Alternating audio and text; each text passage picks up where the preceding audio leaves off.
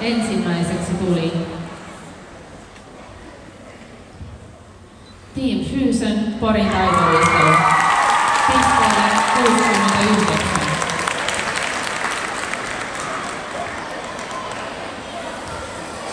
Toiseksi tuli Sparkle Edge, pisteellä 50.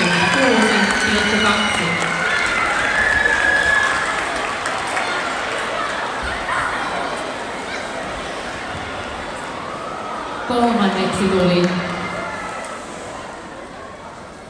Team Somnium Salpa taitoluistelu pisteillä 49,6.